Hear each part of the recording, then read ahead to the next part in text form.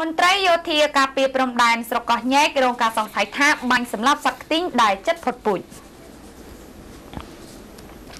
ចាំមន្ត្រីយោធាការពារព្រំដែនស្រុកកោះញែកត្រូវបានគេសង្ស័យថាបានបាញ់សម្លាប់សត្វខ្ទីងដែលជាសត្វព្រៃដ៏កម្រនិងចិត្តផុតពូជនៅកម្ពុជា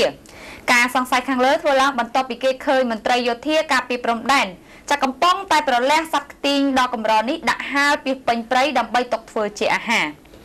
បើតាមលោកកៅសុភ័ក្រអនុប្រធានព្រៃការពីមណ្ឌលគិរីថាសត្វខ្ទីងដែលមន្ត្រីយោធាបាញ់សម្លាប់គឺជាសត្វខ្ទីងជំទើដែលវាទៅនឹងធំចាលោកថាចំពោះបញ្ហានេះលោកនឹងស្នើសុំទៅអភិបាលខេត្តដើម្បីមានវិធានការចំពោះមន្ត្រីចាដែលមានអាវុធប្រើប្រាស់ទាំងនោះចាដោយសូមមេត្តាកុំប្រមាញ់សត្វព្រៃដែលជាសត្វកម្រដូចនេះ